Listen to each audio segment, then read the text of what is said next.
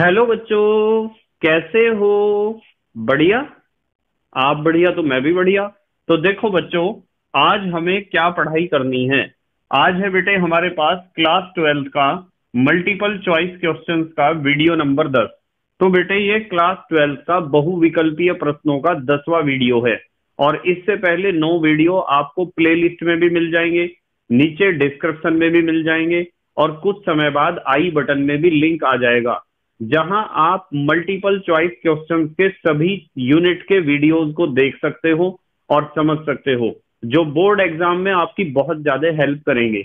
इसी के साथ आपको नीचे डिस्क्रिप्शन में पीडीएफ नोट्स का लिंक भी मिल जाएगा और आप पीडीएफ नोट्स के लिए टेलीग्राम पर भी सर्च कर सकते हो के एम डी सहारनपुर।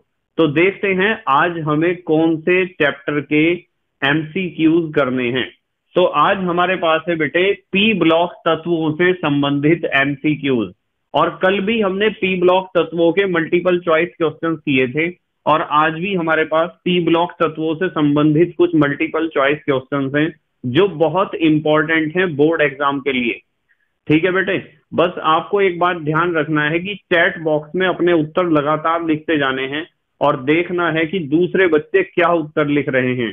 ठीक है? सभी बच्चों का बहुत बहुत स्वागत है और आप अब ईमानदारी से अपना उत्तर लिखेंगे और मेरे उत्तर से मैच करेंगे और लास्ट में मुझे बताएँगे कि आपके कितने क्वेश्चन सही हुए हैं।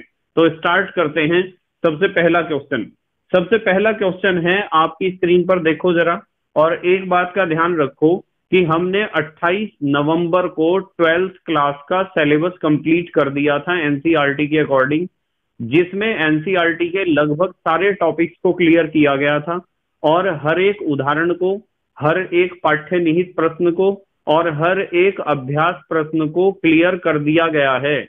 आप प्ले लिस्ट में जाकर ट्वेल्थ क्लास का पूरा सिलेबस पढ़ सकते हो और अपने नोट्स भी बना सकते हो, जो आपको डिस्क्रिप्शन में भी मिल जाएँगे और टेलीग्राम पर भी मिल जाएँगे। ठीक है बेटे? तो देखते हैं पी ब्लॉक तत्वों का एमसीक्यूज का पहला क्वेश्चन आपकी स्क्रीन पर है। देखो, निम्न में से कौन से तत्वों का युग्म समान वर्ग में रखा गया है? कौन से तत्वों का युग्म समान वर्ग में रखा गया है?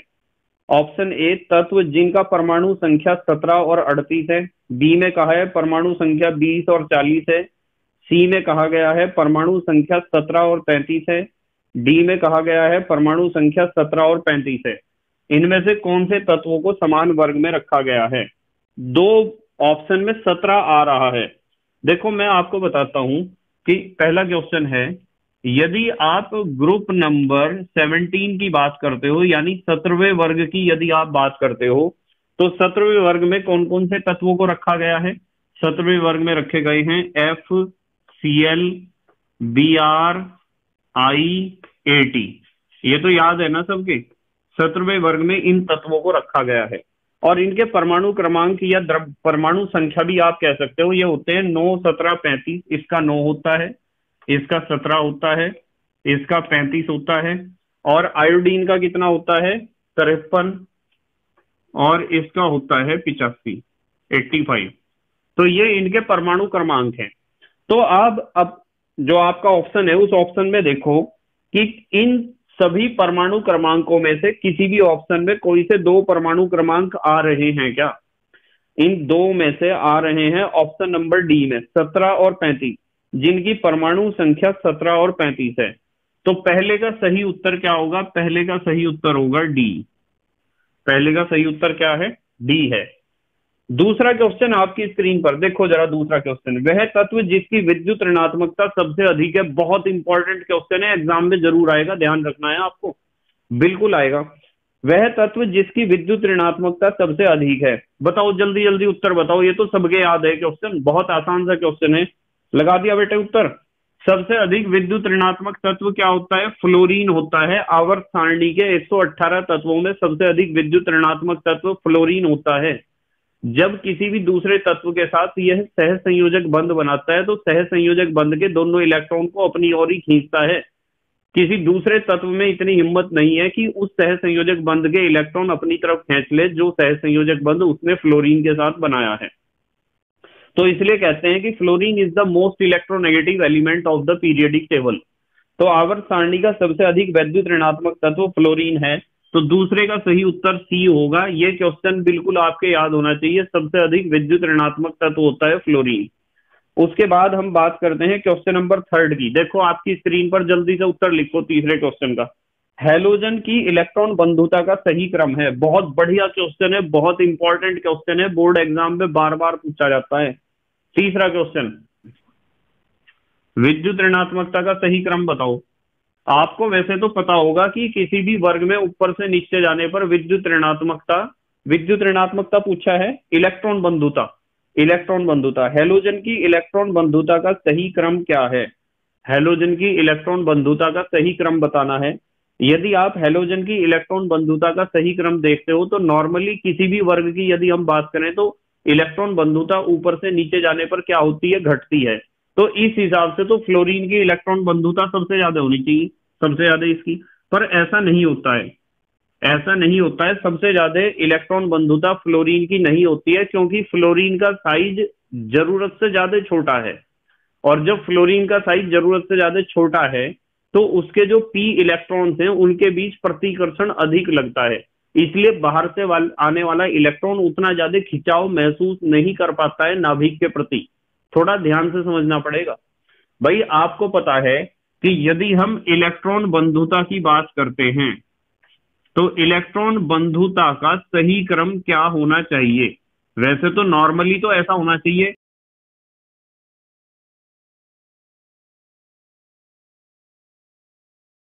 यानी सबसे ज़्यादा इलेक्ट्रॉन बंधुता फ्लोरीन की, फिर क्लोरीन की, फिर ब्रोमीन की, फिर आयोडीन की होनी चाहिए।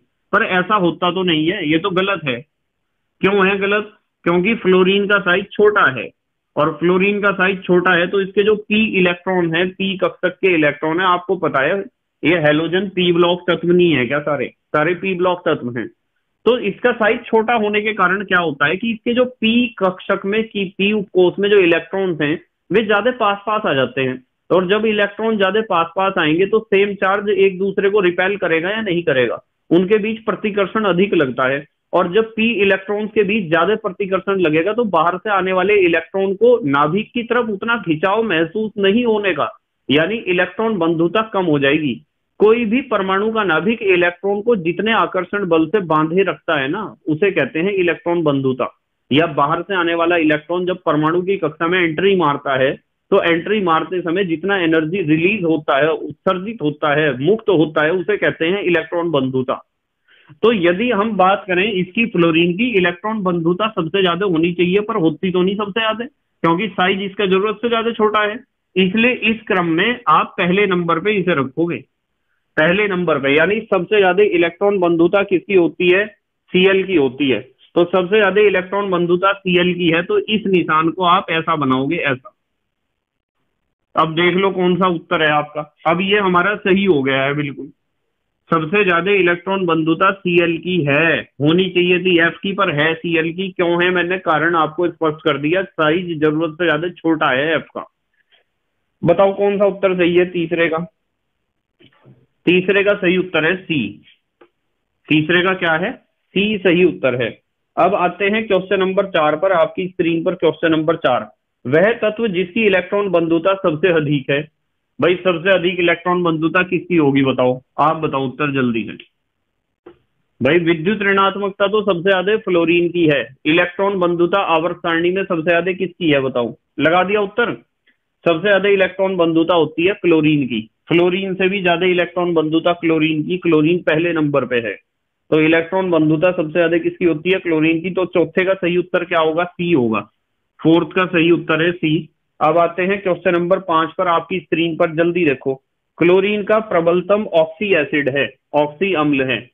H C L O two H C L O four H O C L H C L O three question number पाँच। बहुत बढ़िया क्वेश्चन है।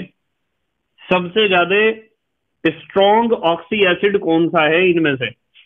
ऑप्शन ए दे रखा है H C L O two option B दे रखा है H C L O four H C L O four option C दे रखा है। क्या दे रखा है C H O C L H O C L option D दे रखा है। डी क्या है? H C L O three H C L O three सबसे ज़्यादा स्ट्रॉन्ग ऑक्सी एसिड कौन सा है? देखो, मैं बताता हूँ। सबसे ज़्यादा स्ट्रॉन्ग ऑक्सी एसिड वो होता है जिसमें ऑक्सीडेशन नंबर सबसे ज़्यादा हो। ठीक है? जिसमें क्लोरीन का ऑक्सीडेशन नंबर सबसे ज़्यादा होगा, वो सबसे ज़्यादा स्ट्रॉन्ग एसिड होगा। देखो, यहाँ देखो, चलो।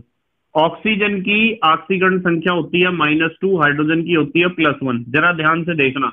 पर ये दो हैं, दो दुनी चार। माइनस के चार और प्लस का एक। माइनस के तीन माइनस के तीन को खत्म करने के लिए सीएल का ऑक्सीडेशन नंबर हुआ प्लस तीन तो सीएल का ऑक्सीकरण संख्या ऊपर लिख लो या नीचे, एक ही बात है। सीएल का ऑक्सीकरण संख्या यहाँ प्लस तीन है।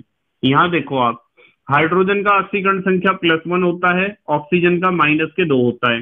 तो चार दूनी आठ, माइनस के आठ और प्लस का एक, माइनस के साथ माइनस के सात को खत्म करने के लिए सीएल का ऑक्सीकरण संख्या प्लस सात होगा। एचओसीएल को यदि आप देखोगे तो एच का ऑक्सीडेशन नंबर प्लस वन होता है और ऑक्सीजन का होता है माइनस के टू। तो माइनस का दो और प्लस का एक, माइनस का कितना बचेगा? एक बचेगा और माइनस के एक को खत्म करने के लिए सीएल का ऑक्सीकरण संख्या यहाँ कितना हो जाएगा? प्लस वन हो जाएगा। अब देखते हैं S C L O three को। S C L O three में एच का प्लस वन होता है और ओ का होता है माइनस के टू तो ये हो जाएगा तीन दूनी छह। माइनस के छह और प्लस का एक। माइनस के पाँच। माइनस के पाँच को खत्म करने के लिए प्लस का पाँच। अब देखो आप। आप यहाँ देखते हो सीएल का ऑक्सीडेशन नंबर क्या है? प्लस थ्री है। यहाँ प्लस सात है। यहाँ प्लस एक है। यहाँ प्लस पाँच है। तो सबसे ज़्यादा स्ट्रॉन्ग एसिड ये होगा जहाँ सीएल का ऑक्सीडेशन नंबर सबसे ज़्यादा है प्लस सात। पहले नंबर पे ये होगा। दूसरे नंबर पे ये होगा। और तीसरे नंबर पे ये होगा। और चौथे नंबर पे ये होगा। तो हमारा था क्वेश्चन नंबर पाँच। पाँचवें क्वेश्चन में कहा था क्लोरीन का प्रबलतम ऑक्सी एसिड है। सबसे ज़्यादा प्रबल ऑक्सी अम्ल कौन सा है? जिसमें ऑक्सीकरण संख्या सबसे ज़्यादा आई है। सीएल की ध्यान रखना है इस चीज़ को। बहुत इंपॉर्टेंट क्वेश्चन है ये। कि क्या है? S C L O four S C L O four कौन सा ऑप्शन है? बी तो पांचवे का सही उत्तर क्या होगा? बी होगा. पांचवे का सही उत्तर होगा बी अब आते हैं क्वेश्चन नंबर छह पर. छह है, निम्न में से कौन सा कथन सही है? एनओ टू नाइट्रिक अम्ल का एनहाइड्राइड है. सीओ फॉर्मिक अम्ल का एनहाइड्राइड है. Cl2O3 हाइपोक्लोरस अम्ल का एनहाइड्राइड है. Cl2O7 पर क्लोरिक अम्ल का एनहाइड्राइड है. तो छठे का लगाओ आप उत्तर जल्दी से. एनहाइड्राइड एनहाइड्राइड का मतलब जिसमें से पानी को निकाल दिया गया हो तो एनहाइड्राइड बन जाता है। जैसे आपको एनहाइड्राइड मैंने ऑर्गेनिक केमिस्ट्री में पढ़ाए थे तो इन्होंने पूछा है कि कौन सा कथन सही है? छठा क्वेश्चन। लगा दिया उत्तर? छठे का सही उत्तर होगा डी। अब क्यों होगा? देख लो, मैं बताता हूँ आपको। छठे का सही उत्तर डी क्यों होगा? आपके पास जो है यदि आप Cl2O7 को देखते हो ना क्लोरीन हेप्टा ऑक्साइड को, यदि इसमें आप पानी मिलाओगे H2O यानी इसका जल अवघटन करोगे या जल के साथ इसकी क्रिया करोगे तो दो बनते हैं HClO4 अब जरा ध्यान से देख लो आप। HClO4 दो बनते हैं। यानी यदि आप दो HClO4 को लेकर उसे गर्म करोगे तो उसमें से पानी निकल जाएगा। इसका मतलब ये है कि S C L O four option D को देखो जरा। ऑप्शन डी का है Cl2O Cl2O7 पर क्लोरिक अम्ल का एनहाइड्राइड है। यानी Cl2O7 जो है, वो पर क्लोरिक अम्ल में से पानी निकलने के बाद शेष बचता है। इसलिए हमारा ऑप्शन डी सही है। ठीक है बेटे? ध्यान से समझ लो इस चीज़ को। एनहाइड्राइड का मतलब जिस पानी निकलने के बाद जो बचता है, उसे आप एनहाइड्राइड कह सकते हो। इसमें से पानी निकलने के बाद ये बचेगा। ठीक है? आपको पता है ना एनहाइड्राइड का मतलब क्या है? देखते हैं क्वेश्चन नंबर सातवां। सातवां क्वेश्चन आपकी स्क्रीन पर देखो जरा। वायुमंडल में सर्वाधिक पाई जाने वाली गैस है। सर्वाधिक पाई जाने वाली गैस है। तो इन चार ऑप्शन में से छांटना है आपको। कभी आप वैसे ही लिख दो सीधा नाइट्रोजन गैस। नाइट्रोजन गैस हाँ वायुमंडल में सबसे ज़्यादा है। पर इन चारों में से कौन सी सबसे ज़्यादा है? Helium, neon, argon, krypton. बताओ जल्दी से उत्तर लिखो। सातवें का। लिख दिया आपने उत्तर। सबसे ज़्यादा मात्रा में वायुमंडल में पाई जाने वाली गैस होती है आर्गन। तो सातवें का सी है, आप ध्यान रखोगे, सबसे ज़्यादा मात्रा में पाई जाने वाली गैस क्या है? ऑर्गन है। ठीक है? इन चारों गैसों में से। क्वेश्चन नंबर आठ, आपकी स्क्रीन पर आते हुए आठवां क्वेश्चन देखो। हीलियम गैस का मुख्य स्रोत है। बताओ हीलियम का स्रोत क्या है? ये तो याद करने वाले क्वेश्चन है। हीलियम का स्रोत वायु है, प्राकृतिक गैस है, समुद्री जल है रेडियो एक्टिव खनिज है, बताओ। आठवें का सही उत्तर क्या है? आठवें का सही उत्तर है डी आठवें का सही उत्तर क्या है? डी रेडियो एक्टिव खनिज। जो हीलियम गैस है, वो रेडियो एक्टिव खनिज से प्राप्त होती है, ध्यान रखेंगे सब बच्चे इस चीज़ को। हीलियम गैस कहाँ से प्राप्त होती है? रेडियो एक्टिव खनिज से। अब देखते हैं क्वेश्चन नंबर नौ। नोवा क्वेश्चन देखो जरा। वायु यानों के टायरों में हीलियम के भरे जाने का कारण है, अथवा गुब्बारों में हाइड्रोजन के स्थान पर हीलियम भरी जाती है, क्योंकि, क्यों भरी जाती है? यह सबसे हल्की अक्रिय गैस है। यह हवा से बहुत हल्की तथा अज्वलनशील गैस है। यह वायु, यह बहुत कम ताप प्रदान करती है। डी उपरोक्त में से कोई नहीं। बताओ। आप हाइड्रोजन के स्थान पर हीलियम गैस का क्यों प्रयोग करते हो? सही उत्तर क्या है? भाई, यदि हाइड्रोजन का, भाई हाइड्रोजन भी हल्की है हीलियम भी हल्की है, दोनों हल्की गैसें हैं, दोनों आप यूज़ कर सकते हो, वायुयान के टायरों में भी और गुब्बारों में भी। पर हाइड्रोजन के साथ एक प्रॉब्लम है हाइड्रोजन एक ज्वलनशील गैस है, उसमें आग लग सकती है। मान लो एक बच्चे ने गुब्बारा भरवाया हाइड्रोजन गैस का, और वो मम्मी के पास अपनी किचन में चला गया। तो यदि वो अपनी मम्मी के पास, अपनी माँ के पास किचन में गया, और वहाँ उसने जलते हुए गैस पर या चूल्हे पर उस गुब्बारे को लेके चला गया तो वहाँ विस्फोट नहीं हो जाएगा। तो हाइड्रोजन गैस तो बहुत खतरनाक है। हालाँकि हाइड्रोजन से गुब्बारा उड़ेगा तो इसलिए हम किसका प्रयोग करते हैं? हीलियम का। तो इसका सही उत्तर है बी। नोवे का सही उत्तर बी है। यह हवा से बहुत हल्की तथा अज्वलनशील गैस है। हवा से हल्की तो दोनों ही है। तो नोवे का सही उत्तर क्या है? बी है। हवा से हल्की तो हाइड्रोजन भी है, हीलियम भी है। पर हाइड्रोजन ज्वलनशील है, इसलिए खतरनाक है। ठीक है? जो ज्वलनशील गैसें हैं, उन्हें गुब्बारे में नहीं भरना चाहिए। अब देखो, क्वेश्चन नंबर दस को देखो जरा स्क्रीन पर, आप जल्दी से उत्तर दो। गहरे समुद्र, गहरे समुद्री गोताखोरों के सांस लेने में प्रयोग में आने वाली ऑक्सीजन में नाइट्रोजन की जगह प्रयुक्त होने वाली गैस है। बताओ, ऑक्सीजन के साथ नाइट्रोजन ना मिलाकर ऑक्सीजन के साथ कौन सी गैस मिलाई जाती है? याद करने वाला क्वेश्चन है ये। बताओ ऑक्सीजन के साथ नाइट्रोजन ना मिलाकर कौन सी गैस मिलाई जाती है? जीनोन क्रिप्टन नियोन हीलियम कौन सी मिलाई जाती है? हीलियम मिलाई जाती है तो दसवें का सही उत्तर डी है। अब देखते हैं ग्यारहवा क्वेश्चन ग्यारहवा क्वेश्चन देखो जरा, आपकी स्क्रीन पर ग्यारहवा क्वेश्चन ग्यारहवा क्वेश्चन है, कोहरे को भेदने वाले लैंप में प्रयुक्त गैस है।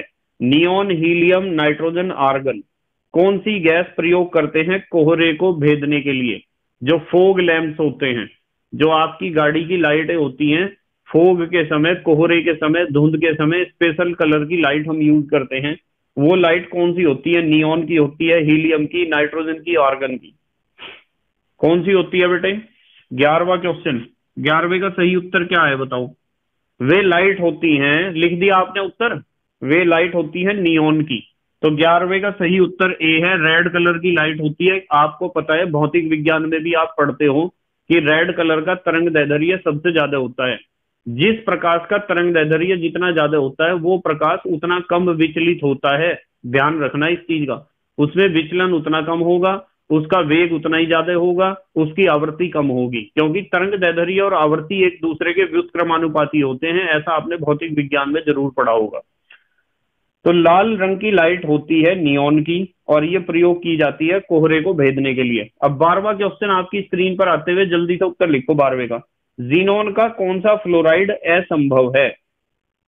जीनोन का कौन सा फ्लोराइड असंभव है? Option A X E F two option B X F three option C X F four option D X F six कौन सा फ्लोराइड असंभव है? जीनोन का याद कर लेना। इस क्वेश्चन को बिल्कुल पक्का याद कर लेना। बताओ सही उत्तर क्या है?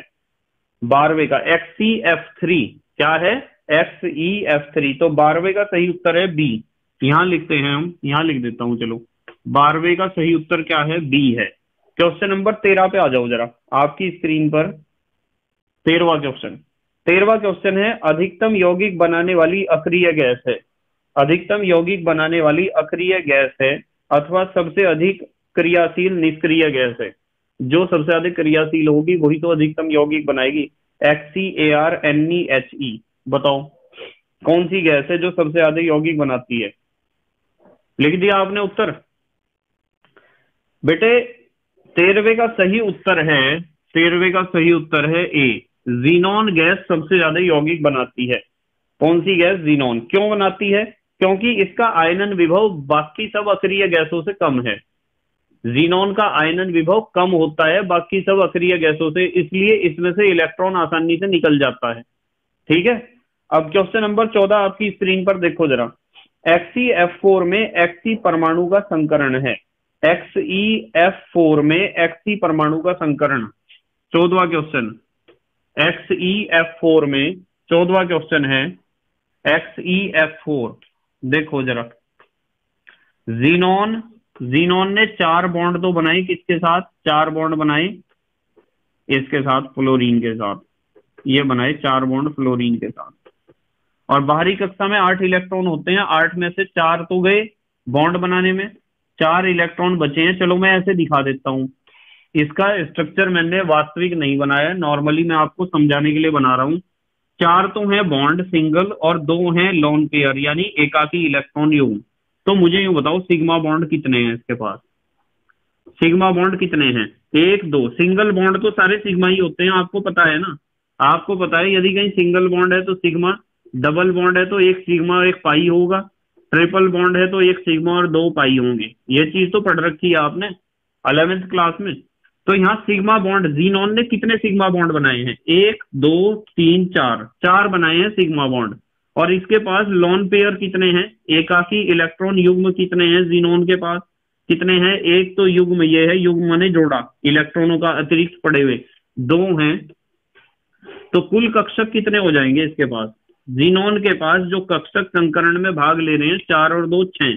और छह कक्षक हैं तो एक, दो, तीन, चार, पाँच, छह कक्षक हैं। अब छह कक्षक हैं तो उसमें एक तो एस का होगा। और तीन होंगे किसके? पी के। भाई एस में तो एक ही एस उपकोष में एक कक्षक होता है तो एक से ज़्यादा पे थोड़ा ही मैं एस लिख सकता हूँ। पी उपकोष में तीन कक्षक होते हैं, बाकी बचे हुए किसके होंगे? डी के। तो इसलिए संकरण क्या हो जाएगा? S P three D two अब चेक कर लो कौन सा उत्तर सही है।